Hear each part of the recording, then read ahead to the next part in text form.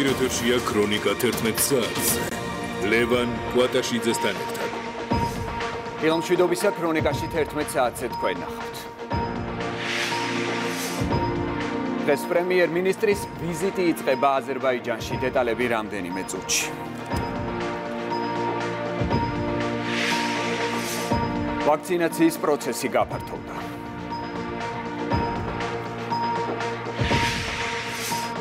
დღეს COVID-19-ით ინფიცირებულთა რიცხვმა 2000-ს გადააჭარბა.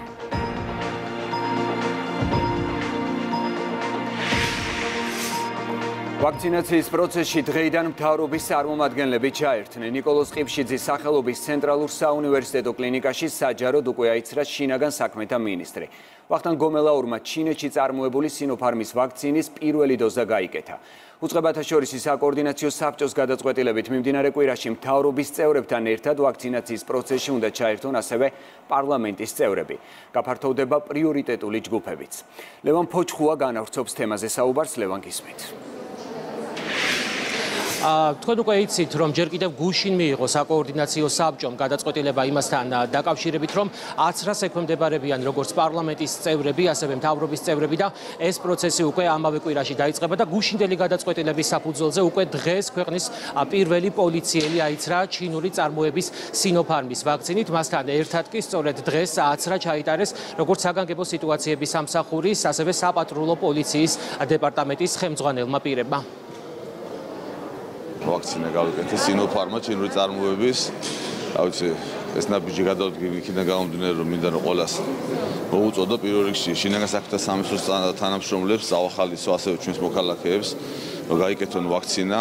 ეს იქნება ნუ სინოფარმის სხვადასხვა ვაქცინა, სხვადასხვა შეიძლება AstraZeneca-ს გაიკეთონ კიდე სხვა.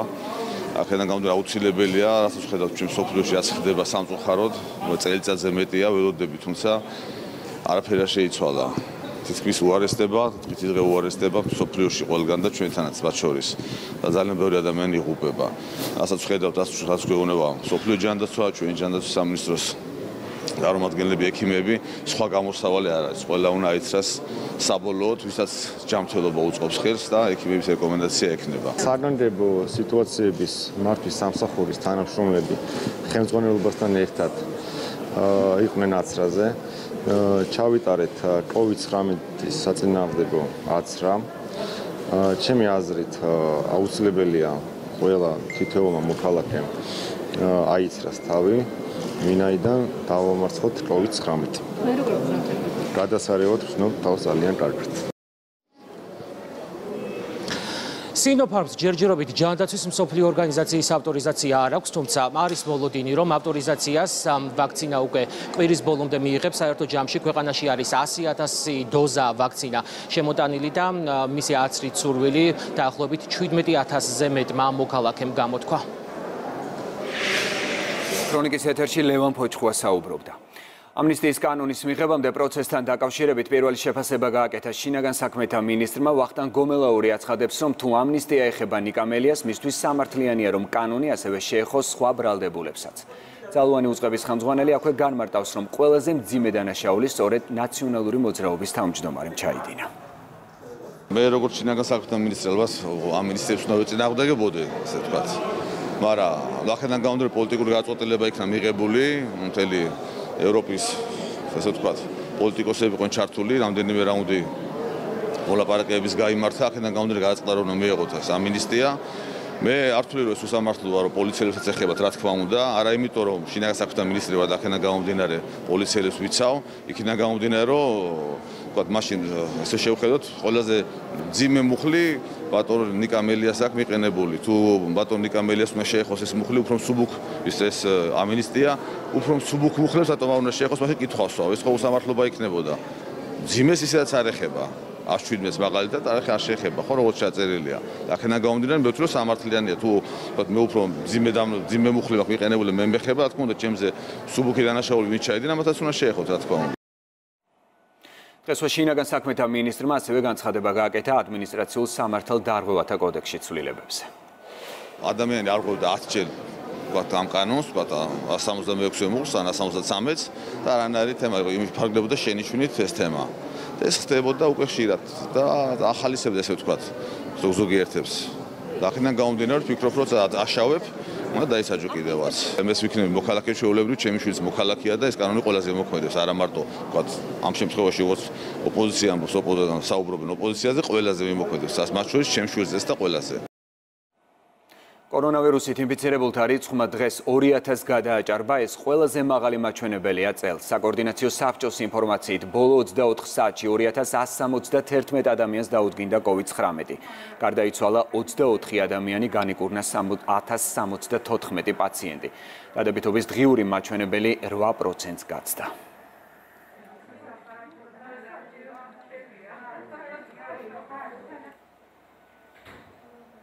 AstraZeneca-ის ვაქცინის მეორე დოზაზე რეგისტრაცია დღეს საღამოს 8 საათიდან დაიწყება, აცრის ჩატარება კი 10 მაისიდან იქნება შესაძლებელი.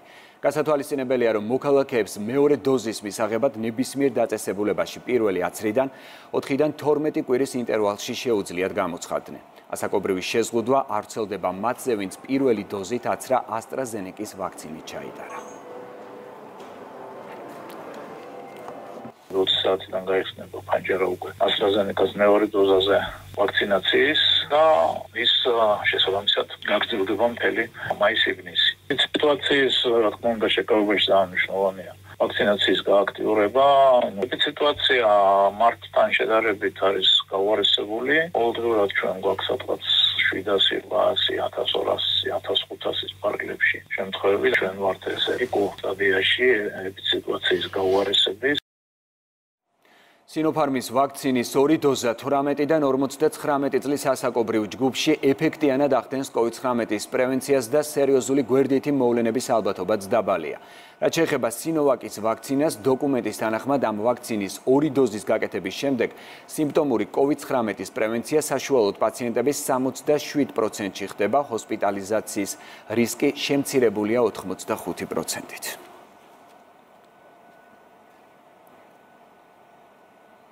რა მნიშვნელობა აქვს ვაქცინაციას პანდემიის წინააღმდეგ ბრძოლის პროცესში? აცრის აუცილებლობაზე ისაუბრეს გადაცემაში იმედის ფაქტორი.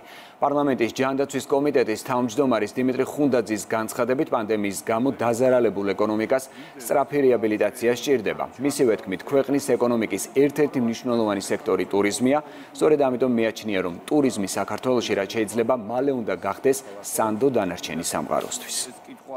რაც შეიძლება სწრაფად უნდა გავხადოთ ქართული ასე ვთქვათ ტურიზმის სანდო დანარჩენი სამყაროსათვის და ვფიქრობ რომ აქ ამ სექტორში ეს იქნება სამასპინძლო ბიზნესი ეს იქნება სარესტორნე თუ თქვა სასტუმრო ბიზნესში ჩართული სექტორი, რა თქმა უნდა, ეს უნდა გავხადოთ ეპიდემიოლოგიურად უსაფრთხო ლოკაციები, რომ ინტერესი გაიზარდოს. ამ სექტორში დასაქმებული ადამიანები მით უმეტეს, თუ კი მათ საკუთარი ბიზნეს სექტორის განვითარება სურდა, ეს მნიშვნელოვანია ქვეყნის ეკონომიკისათვის, მათ მით უმეტეს უნდა აიღონ მაღალი პასუხისმგებლობა, ჩაიტანონ აცრა და გაუმასპინძლდნენ ეპიდემიოლოგიურად უსაფრთხო გარემოში სტუმრებს.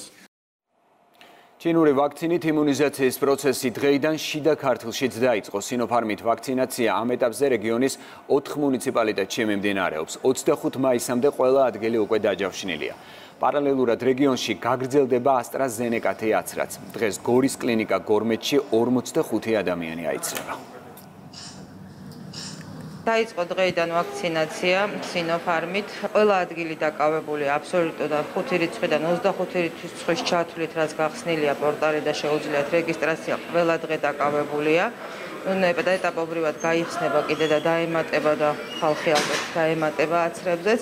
რაც შეეხება AstraZeneca-ს ჩაირთვება ხვალიდან ჩვენთან და მეორადი დოზა ვისაც უწევს ისინი აიცრებია და აგრეთვე ეს რო დამთავრდება როცა იქნება AstraZeneca პირველადი დოზირებებიც დაიწყება. ეს ჩატარდება 45 ვაქცინაცია. დავიცეი დღეს პირველი პაციენტი ვიყავი გორმეთში სულ რაღაცა უკვე 5 წუთი გავიდა თუმცა კარგ თავს ძალიან კარგად გრძნობ. დავთვლი რომ ყველა ადამიანმა უნდა გაითვალისწინოს და იგრძნოს სამოქალაქო პასუხისმგებლობა რადგან ეს პანდემია ვაქცინაციის გარეშე ვერ დასრულდება. COVID-19-ის მესამე ტალღის და ვაქცინაციის პროცესის პარალელურად სპეციალისტთა რეკომენდაციები ისევ უცვლელია: პირბადე, დისტანცია, ჰიგიენის ნორმების დაცვა და უარი მასობრივ ღონისძიებებს. მედიკოსები მოუწოდებენ მოქალაქეებს ჩაიტარონ აცრა და ხელი შეუწყონ საზოგადოებრივ უსაფრთხოებას.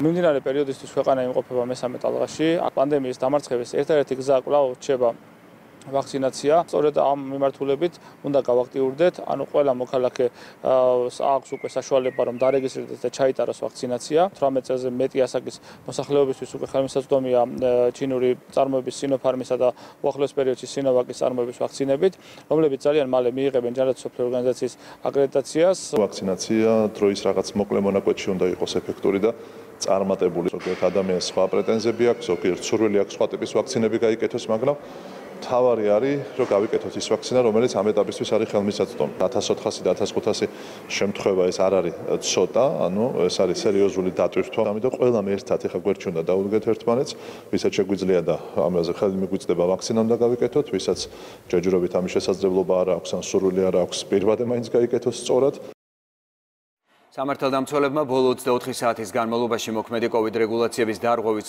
835 ფაქტი გამოავლინეს, დაჯარიმდა 61 ფიზიკური და 1 იურიდიული პირი. მათ შორის არიან მოქალაქეები, რომლებმაც 21 საათიდან დილის 5 საათამდე დაწესებული გადაადგილების შეზღუდვის წესი დაარღვიეს. ასევე ბოლო 24 საათის განმავლობაში პირბადის დარების წესის დარღვევის ფაქტი ადმინისტრაციულ სამართალ დარღვევათა კოდექსის შესაბამისად 698 ფიზიკური პირი დაჯარიმდა, ხოლო პირბადის დარების წესის განმეორებით დარღვევის 75 ფაქტი გამოვლინდა. სადღესასწაულო დღეების შემდეგ სასაფლაოებზე გასვლა უკვე ნებადართულია. გასათვალისწინებელია, რომ ამ შემთხვევაშიც მოქალაქეებმა მკაცრად უნდა დაიცვან COVID რეგულაციები. აღდგომის ბრწყინვალე დღესასწაულის შემდეგ 3 დღის განმავლობაში სასაფლაოებთან მისასვლელ გზებს სამართალდამცველები აკონტროლებდნენ. მეგი ნარსავიძე გვერდდება პირდაპირ ეთერში. მეგი, რა ხდება აკრძალვის მოხსნის შემდეგ სასაფლაოებზე და რამდენად არის უკვე ხალხმრავლობა? თავიწყებ იმით, რომ სასაფლაოებზე სამი დღის განმავლობაში არსებული ვითარება შეცვლილია მიმდებარე გზებს და ტერიტორიაზე შესასვლელებს პოლიცია აღარ აკონტროლებს, ადამიანებს თავისუფლად შეუძლიათ გადაადგილება დილიდან გამოჩნდნენ მოქალაქეები, თუმცა მათი რაოდენობა არის საკმაოდ მცირე და არ შეინიშნება შეინიშნება ხალხმრავლობა. შეიძლება ითქვას, რომ ამ დროისთვის COVID რეგულაციები არის დაცული სასაფლაოს ტერიტორიაზე, რაც შეეხება მოქალაქეებს, რომლებიც ადგილზე მოდიან, ისინი ამბობენ, რომ მათ სამი დღის განმავლობაში სურდათ საფლაოებზე გასვლა, თუმცა რეგულაციის გამო ისინი ვერ ახერხებდნენ ამას და ელოდებოდნენ სწორედ დღევანდელ დღეს 5 მაისს რომ ეს შეზღუდვა მოხსნილიყო და საფლავებზე გასულიყვნენ. ჩვენ მოვედით და ეხლა მოვიდნენ მანქანები. არც ყოფილან ხო, მაგრამ გუშინ ვერ ამოვახციეთ, გუშინ წინ ვერ აღმოვა. ჩაკეტილი იყო. დღეს გამოვაცხადეს, რომ 5 მაისიდან უკვე შეიძლება რომ მიხვიდეს სასაფლაოზე და გააკეთოს რაც გინდათ, მაგრამ კი ეს კვირა სულ მაყურებელს შევახსენებ, რომ სასაფლაოებზე სამი დღის განმავლობაში დაწესებული შეზღუდვა არ ვრცელდებოდა მხოლოდ დაკრძალვის პროცესზე.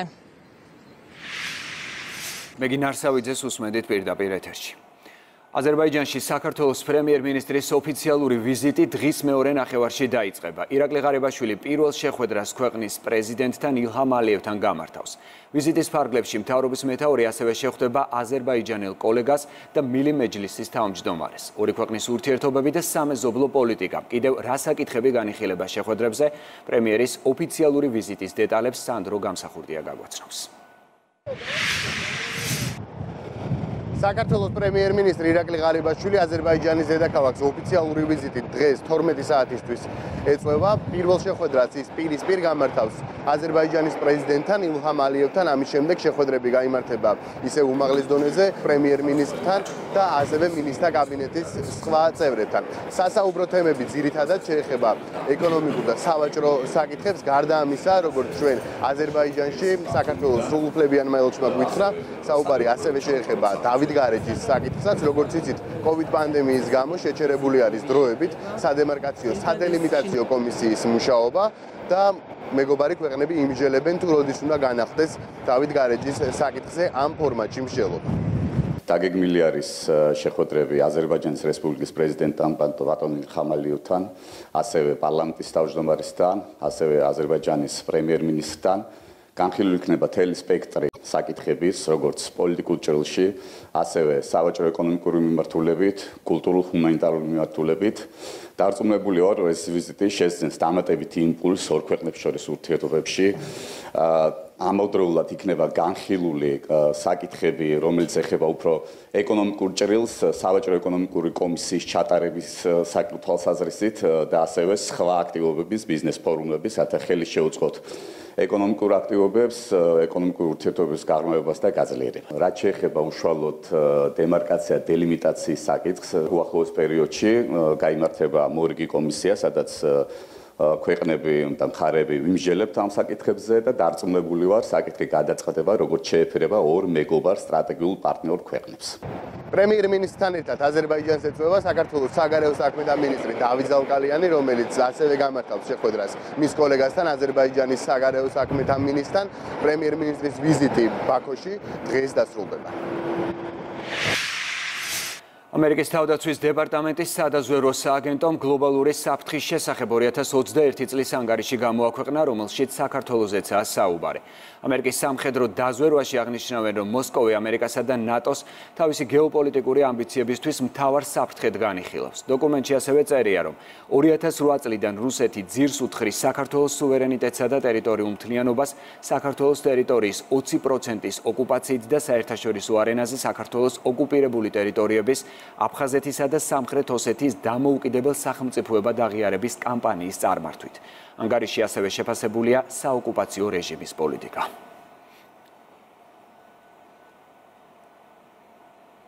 ვიდრე პარლამენტი ამნისტიის კანონს მიიღებს, ნიკა მელია საპატიმროში რჩება. ნაციონალური მოძრაობის თავმჯდომარე ვეღარ ამბობს, რომ მზად არის ევროპულ გირაოს დათანხმდეს. მისი სახელით ადვოკატები განმარტავენ, რომ გირაოს აღარ ჭირდება ნიკა მელიას თანხმობა.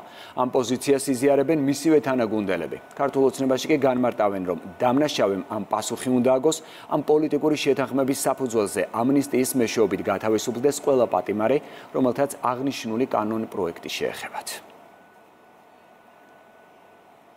ნიკა მელიასი არ ჭირდება მის გამოშვების პროცედურების დაწყებას. ხელისუფლების ხელშია დღეს ციხის გასაღები. თავიდან ამბობდა, რომ კატეგორიულად რომ არავინ არ გაბედოს, არ გადაიხადოს გირაო ჩემს ნაცვლად, იმიტომ რომ მე ამას არ ვცნობ და არ გამოვალდა. ეხლა შესაბამისად ჩვენ გვაინტერესებს, ცნობს თუ არა ცნობს, რაც შეეხება ლაპარაკს იმაზე, რომ ხელისუფლებას შეუძლია გამოუშვას ყოველგვარი რა ქვია, მისი თანხმობის გარეშე ბუნებრივია პროკურატურა შეუძლია ვარი თქვას ბრალდებაზე, მაგრამ ეს არ ნიშნავს, რომ დანაშაული არ იქნა ჩადენილი და ჩვენ ვართ სამართლებრივი სახელმწიფო, დამნაშავემ პასუხი უნდა აგოს ან პოლიტიკური შეთანხმების თანახმად გარკვეული წესით ამნისტიით უნდა მოხდეს ყველა ამ ადამიანის გათავისუფლება. ნაციონალური მოძრაობა გამოიკვეთა როგორც ყველაზე უპასუხისმგებლო და არასერიოზული პოლიტიკური პარტია საქართველოში. ეს ყველაზე მეტად ზუსტად მელიას გირაოს გარშემო მათ მიერ წარმოებული დისკუსიის დროს ჩანს. ასე რომ ფიქრობ საზოგადოება კარგად ხედავს და აფასებს რომ მათ ამ დოკუმენტს ნაციონალური მოძრაობისთვის ქვია ნიკამელია სააკაშვილისთვის და არა საომავლო გზა საქართველოსთვის. ნიკამელია საქმეზე ქართული ოცნების წევრებმა იმედის ფაქტორში საუბრეს. გიუმი მიქანაძის განცხადებით ეს სცენარი მიხელ სააკაშვილმა დაწერა და მელია საპატიმროში მოხვედრაც სწორედ ამ სცენარის კონკრეტული ეპიზოდი იყო და მაგდას უსვლება თუ ნიკანორ მელია რომელსაც ეგრეთ წოდებულ პოლიტპატიმრად მოიხსენიებენ. რეალურად არის მხოლოდ ერთი ადამიანის მიხეილ სააკაშვილის პირადი პატიმარი რომელმაც დაწერა ეს სცენარი და ამ სცენარის ერთ-ერთი კონკრეტული ნაწილი იყო რომ ეს ადამიანი უნდა შესაძლო იყო რომ აღმოჩენილიყო პენტენციურ დაწესებულებაში. ვინ სარგებლობს ყველაფერი ამით. რეალურად რომ ნახოთ ალბათ ის ადამიანი, რომელიც ცდილობს რომ სხვა სახელმწიფოდან აქ რაღაც პოლიტიკური დღის წესრიგი შექმნას. რეალურად ჩვენ ვხედავთ დღეს რაც არის ცხადზე ცხადი და ლუსტრაცია მოხდა ამ მთელი პროცესის. ჯერ კიდევ დანიელსონის დოკუმენტის შემუშავების პროცესში ჩვენ ვიყავით ორკესტრირებული შეტევის მსხვერპლი, მედიის ყურადღება, სამოქალაქო საზოგადოების ყურადღება, პოლიტიკოსების ყურადღება უპირატესად მიქცეულია ისეთ საკითხებზე, რომელიც ჩვენი ქვეყნისთვის ნომერ პირველი პრიორიტეტი ნამდვილად არ არის. და სამწუხაროდ 6 თვეა პრაქტიკულად მთელი ყურადღება, მათ შორის საერთაშორისო თანაპარტნიორების მხრიდან, მათ შორის ჩართულობა მოითხოვება სწორედ ამ დეესკალაციის მიმართულებაზე, რომელსაც ხელოვნურად ქმნის ოპოზიცია. ამნისტიის ორი კანონპროექტი და განსხვავებული პოზიციები შარმიშელის დოკუმენტზე ხელმომწერი პოლიტიკოსები ამ დრომდე შეთანხმებას ვერ აღწევენ. ოპოზიციაში აცხადებენ, რომ ყველაფერს გააკეთებენ, რათა მართველი გუნდის მიერ ინიცირებული კანონპროექტიდან ის მუხლები ამოიღონ, რომლებიც სისხლის სამართლებრივი პასუხისმგებლობისა და სასჯელისგან ათავისუფლებს ყველას, ვინც 19-21 ივნისის მოვლენების დროს ჩაიდინა დანაშაული. რაც შეეხება უმრავლესობას, განმარტავენ, რომ მათ მიერ შემუშავებული კანონპროექტი არგუმენტირებულია და მიაჩნიათ, რომ ოპოზიციის მხარდაჭერასაც მოიპოვებენ. მე ვფიქრობ, რომ ბრძოლა მოგვიწევს ჩვენი კანონპროექტის გატანაზე და ასევე, რა თქმა უნდა, ყველაფერს გავაკეთებთ, რომ ქართული ოცნების ჩანაწერში ეს მუხლები გაქრეს და თუ ეს გაქრება, მაშინ სავსებით შესაძლებელია, რომ დაახლოვდეს ჩვენს მიერ ინიცირებული კანონპროექტი, ვფიქრობ, რომ კარგად არგუმენტირებულია, მათ შორის იმ ნაწილებში, რომელშიც განსხვავდება ამ შემთხვევაში ოპოზიციის მიერ წარმოქმნილი პროექტისგან. და აქედან გამომდინარე, ვფიქრობ, რომ ჩვენ გვექნება შესაძლებლობა, რომ ავხსნათ ეს არგუმენტაცია და შესაბამისად მოვიპოვოთ ხარდაჭერა ასევე ოპოზიციის მხრიდან. ისინი გამოიყვნენ სამუშაო პროცესს და ფაქტიურად თავიანთი ვერსია დაინიცირეს, რომელიც გარკვეულწილად აცდენაშია შეთანხმების დოკუმენტთან, რომელიც არის ძირითადი საყრდენი, რომელზეც ყველა შემდგომი რეფორმა ვსვაპირებთ, რომ დავაფუძნოთ. ამიტომ ჩვენ მზად ვართ, რომ როგორც საპარლამენტო, ასევე ნებისმიერ დებატების ფორმატში დავამტკიცოთ და დავასაბუთოთ, რომ ჩვენს მიერ წარგენილი ამნისტიის პროექტი შეესაბამება იმ ძირითად მოტივს, რაც შეთანხმების აქტშია ჩადებული. საარჩევნო რეფორმაზე მუშაობის მუშაობა სპეციალური შექმნილი სამუშაო ჯგუფი 10 მაისიდან განახლებს დოკუმენტზე უთოდერისა და ვენეციის კომისიის დასკვნები უკვე გამოქვეყნდა და ქართული ოცნების დეპუტატთა თქმით საკმაოდ პოზიტიურადაც შეფასდა. რაც შეეხება შენიშვნებს დეპუტატების ინფორმაციით ჯგუფის მუშაობის განახლებისთანავე იქნება გათვალისწინებული. შემოვიდა უთოდერის რეკომენდაცია და ვენეციის კომისიის, სადაც ძალიან მიხარია რომ აა ჩვენს მიერ დაინიცირებულ კანონპროექტში დიდი ნაწილი უკვე გათვალისწინებული არის ამ რეკომენდაციების. რჩება საკითხები, რომელიც დაკავშირებული არის საარჩევნო კომისიის წევრების და თავმჯდომარის არჩევნის წესთან და ამასთან დაკავშირებით ეს ნაწილიც შარმიშელის დოკუმენტით არის გათვალისწინებული, უბრალოდ დაგვრჩება მხოლოდ ამის ასახვა დოკუმენტში. უნდა აღინიშნოს, რომ სამუშაო ჯგუფის მიერ ეუთო ოდირში გაგზავნილი კანონ პროექტი ძალიან პოზიტიურად იქნა შეფასებული ეუთოდირის მიერ რაც კიდევ ერთხელ მიუთითებს იმაზე რომ ჩვენ მაქსიმალურად ორიენტირებული ვართ ჩვენი დასავლელი პარტნიორების საუკეთესო გამოცდილებები რომ გავიზიაროთ საგამოძიებო სამსახურმა ჯგუფურად კომერციული მოსყიდვის ფაქტზე ერთ-ერთი კომპანიის ორი თანამშრომელი ამხილა. უწყების ცნობით ბრალდებულებმა ერთ-ერთი ტენდერის მოსაგებად პრეტენდენტი კომპანიის თანამშრომელს 10000 ამერიკული დოლარის გადაცემა შესთავაზეს იმ შემთხვევაში, თუ კი წინასწარ გაანდობდა ინფორმაციას ფასთან დაკავშირებით. დანაშაული სასჯელის სახით ითვალისწინებს თავისუფლების აღკვეთას 2-დან 4 წლამდე ვადით.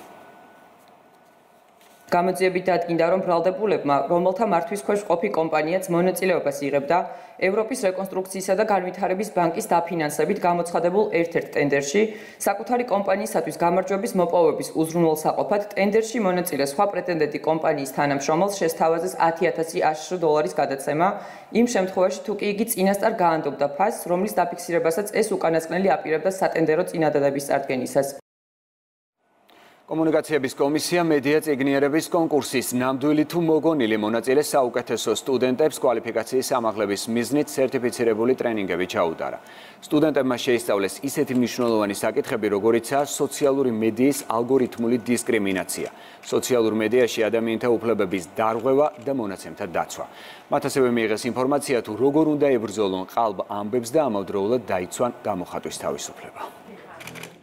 მნიშვნელოვანი გამოწვევა, რომელიც მთელ მსოფლიოს აქვს, ეს არის დეзинფორმაცია, პროპაგანდა, მისინფორმაცია და ასე შემდეგ და მის წინააღმდეგ საბრძოლოდ ერთადერთი კმედითი იარაღი არის მედია ციგნიერება. სწორედ ეს ჩვენი შეთანხმება გულისხმობს ისეთი პროექტების განხორციელებას, როგორც თბილისში, ასევე რეგიონებში უფრო მეტი გაიგოს ჩვენმა საზოგადოება მედია ციგნიერების შესახებ, მიიღონ ის უნარჩვევები და ცოდნა, რომელიც დეзинფორმაციასთან გამკლავება სჭირდება. განსაკუთრებით მნიშვნელოვანია მსგავსი აქტივობების განხორციელება ეთნიკურ ეკონომიკური უმცირესობებით დასახლებულ რეგიონებში, სადაც დეзинფორმაციის პრობლემა განსაკუთრებით მწვავეა და ერთობლივი ღონისძიებები მოგცემს იმის შესაძლებლობას, რომ ის ექსპერტიზა, რაც კომისიაში არის დეзинფორმაციასთან და მედია ციგნიერებასთან ბრძოლის კუთხით, გავაერთიანოთ ჩვენს გამოცდილებასთან. დაუწყოთის ახალი ამბები მსოფლიოში გასული დღეღამის განმავლობაში COVID-19 780.000-მდე ადამიანს დაუდასტურდა. 14000-მდე შემთხვევა კი ლეტალურად დასრულდა. საერთო ჯამში ინფიცირებულთა მაჩვენებელი 155 მილიონს მიუახლოვდა. 3 მილიონ 240.000-ზე მეტი ადამიანი კი გარდაიცვალა. ჯანმრთელობის მსოფლიო ორგანიზაციის მონაცემებით განსაკუთრებით მძიმე ვითარება ინდოეთსა და ბრაზილიაშია. ვაქცინაცია არა მარტო არჩევანი, არამედ სიკვდილ სიცოცხლის საკითხია განაცხადა საგანგებო მიმართვისა შეერთებული შტატების პრეზიდენტმა და იქვე აღნიშნა, რომ ქვეყნის დამოუკიდებლობის დღის 4 ივლისისთვის ზრდასრული მოსახლეობის 70%-ს COVID ვაქცინის პირველი დოზა მაინც უნდა კონდეს მიღებული. ჯო ბაიდენის შეფასებით იმუნიზაცია ცხოვრების ნორმალური წესისკენ გადადგმული ერთ-ერთი მნიშვნელოვანი ნაბიჯია.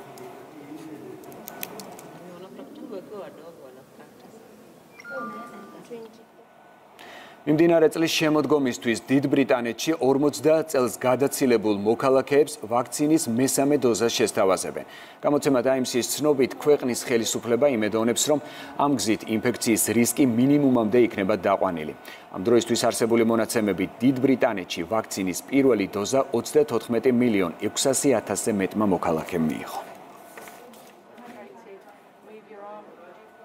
გერმანიაში სრულად აცრილებისთვის შეზღუდვების შემსუბუქდება ქვეყნის ხელისუფლების გადაწყვეტილებით ვაქცინის ორივე დოზით აცრილი ან კორონავირუსისგან განკურნებულ ადამიანებს კომენდანტის საათისა და სოციალური კონტაქტების შეზღუდვები აღარ შეეხებათ.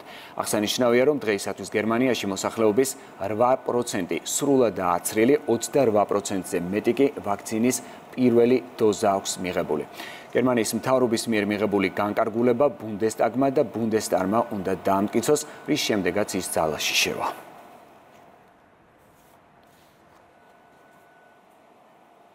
ბენიამინ ნეთანიაჰუსთვის ახალი კოალიციური მთავრობის შესაქმნელად მიცემული ვადა დღეს ამოიწურა. პრეზიდენტ რივლინს შეუძლია მთავრობის ფორმირება პარლამენტის სხვა წევრს დაავალოს. საინფორმაციო სააგენტოების ცნობით, დიდი ალბათობით პრეზიდენტი ამ უფლებას ცენტრისტული პარტიის ეშადიტის ლიდერს იაირ ლაპის მიანიჭებს, რომელიც პარტიაც 23 მარტს ჩატარებულ არჩევნებში მეორე ადგილზე გავიდა. იმ შემთხვევაში, თუ კი პარლამენტის წევრი მომავალ 28 დღეში კოალიციის ფორმირებას ვერ შეძლებს, პრეზიდენტ შეუძლია პარლამენტს დაავალოს სამი კვირის განმავლობაში ახალ კანდიდატზე შეთანხმდეს.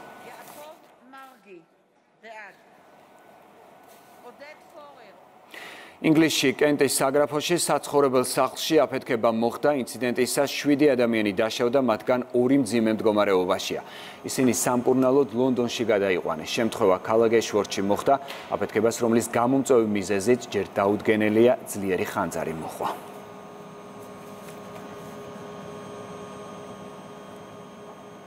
დონალდ ტრამპის სამუშაო მაგიდიდან ასე ქვია ახალ საკომუნიკაციო პლატფორმას, რომელიც შეერთებული შტატების ყოფილ პრეზიდენტს ეკუთვნის. ეს არის ალტერნატიული ინტერნეტ სივრცე, რომლის შექმნის შესახებაც დონალდ ტრამპმა ჯერ კიდევ მაშინ განაცხადა, როცა Facebook-მა და Twitter-მა მისი გვერდი 6 იანვარს განვითარებული მოვლენების გამო გაურკვეველი დროით დაბლოკეს. პლატფორმაზე დონალდ ტრამპის განცხადებები და მიმართვებია განთავსებული, რომელთა გაზიარება მომხმარებელს Facebook-სა და Twitter-ში შეუძლია.